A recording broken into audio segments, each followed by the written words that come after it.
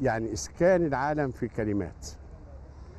هو نقل تجربة حية وطازجة وإنك تعدي بيها أشخاص آخرين. إن زي ما أنت بحس نفسك إن أيضا يحسوا بده. وكل ما أمكن إن خيالك يبقى أوسع بتبقى ليك رغبة شديدة في إنك توسع من مخيلة القارئ عشان يستوعب عالم هو مش واخد باله منه. ما يعرفوش.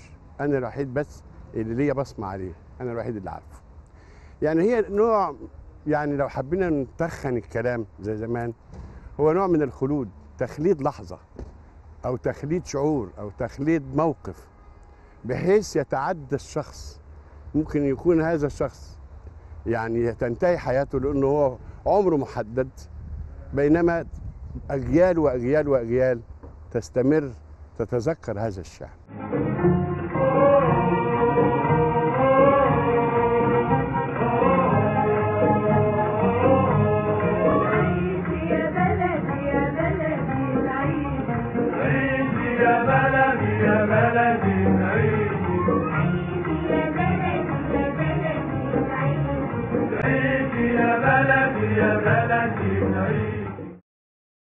علاقتي بالقراءة آه، يعني بدأت آه، مبكرة لأن فجأة اكتشفت في محتويات آه، والدي كان في شنطة كده وحاططها فوق دولاب صغير. أول مرة أعرف إن في حاجات إلهية وحاجات علوية وحاجات ضخمة جدا هرقل ويعمل إيه؟ السبع حاجات اللي عملها. كتاب فيما بعد عرفت إنه يعني فيكتور هيجو أظن كان آه، نوتردام احدى بنوتردام أو حاجة. حاجات بسيطة كده. إنما هي دي اللي عرفتني إن في حاجة اسمها كتب وفي حاجة اسمها عوالم أخرى متخيلة أو حقيقية. قريت آه، شجرة البؤس لطه حسين. والناس يقولوا لي ده أنت تقرأ لطه حسين؟ يعني أنا ما كنتش شايف إن في مشكلة مع طه حسين ولا العقاد. يعني كانوا دايما يتخيلوا إن يعني آه، يتقري في سن معين يعني مش مش انت يعني. أنا طبعا الكلام ده كان مثلا عندي قول تسع سنين. كنا حريصين طبعا لاننا يعني ما إحناش آه، مثيرين قوي ولا إحنا يعني من الطبقة البرجوازية ولا حاجة. كانت ال- المكتبه زي مكتبة البلدية عندما تعرفنا على إن موجود مكان فيه آلاف الكتب كان كنز. وكان يعتبر آه، أو يعني فعلا يحقق الغرض الرئيسي من عمل المكتبات العامة إنها مكتبات ممكن للفقراء والأغنياء.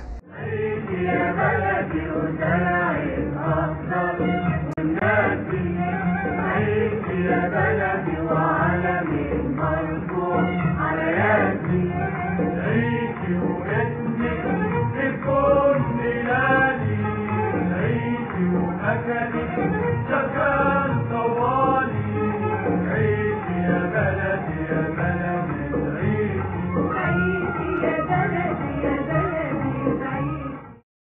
والاجازات الصيفية بتاعت مرحلة ال- الإعدادي كلها ابتداء من المرحله الإعدادي كلها كانت دوام كامل في مكتبة البلدية بتاع المحل.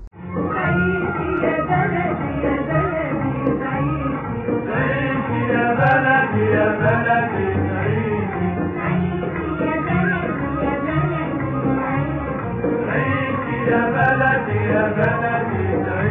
دورت في مكتبة البلدية دي مكتبة عريقة بقى لها من سنة 36 في آلاف كتب.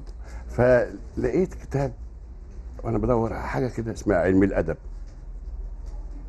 وأبص يعني يقول لك الجزء الأول في علم الإنشاء والعروض. أنا فاكر العروض ده من أيام الدراسة إن في حاجة اسمها العروض والقافية.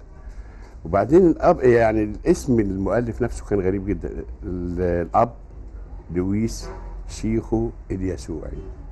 ده مدرس البيان سابقا في كلية القديس يوسف في بيروت. كلام غامض وغريب يعني مش له عربي وله ولا مؤاخذة يعني مسلم ولا أي حاجة. فبفتح لقيت كنز واقع على التراث العربي ب- ب- بطريقة ما حصلتش. مستوعبه بطريقة ما حصلتش ومقدم البحور الشعر والقافية وما يجوز وما لا يجوز من ال... و... لدرجة إن أنا آه كان في حيلة زمان إن إحنا بعد ما نخلص عام دراسي ناخد الورق الأبيض من الكراريس ونعمل منها كشاكيل. نروح المطابع كده يدبسوها لنا. بقيت أملى صفحات كاملة من بحور الشعر. وما يجوز فيها وما لا يجوز. وعيوب القافية. وإيه الصح وإيه الغلط. وحاسس إن أنا وأنا مروح كأني معايا ألف جنيه. يا بلدنا عنبك وبلحك ذهب يا بلدنا قمرك وشمسك ذهب يا بلدنا عنبك وبلحك ذهب يا بلدنا قمرك وشمسك ذهب يا بلدنا يا بلدنا. كان مشهد بيتكرر سنويا في عيد المريمية. آه وكان يعني مدهش جدا بالنسبة لي. صبي صغير بيشوف هذا المشهد الرائع لراهبات آه يمشين تحت المطر أحيانا وشايلين شموع وعمالين يتضرعوا. يا رب ارحم. كير يا ليسون كير يا ليسون.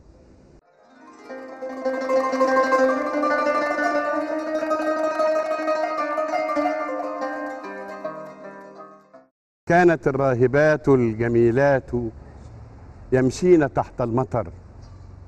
كن يحملن شمعا ويهتفن في نغم بللته الشجون. كير يا ليسون كير يا ليسون والصبي النحيف الصبي الذي كنته يسقط بين حصانين دهشته والظنون كان يرقب مختبئا بين عارضتين من السور أن ينطفي لهب الشمع أو ينفرطن كحبات مسبحة الجد كانت تضيء كعين القطاط. انتظر. غير أن الجميلات لا ينفرطن ولا ينطفي الشمع تحت المطر.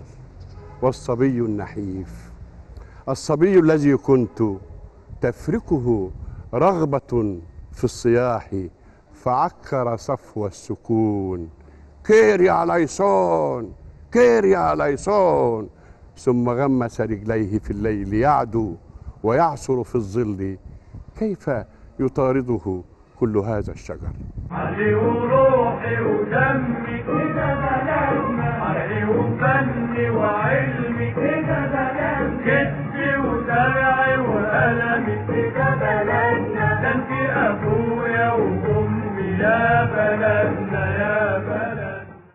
المشهد ده كنت دايما أشوفه من بيتنا القديم في الحقيقة.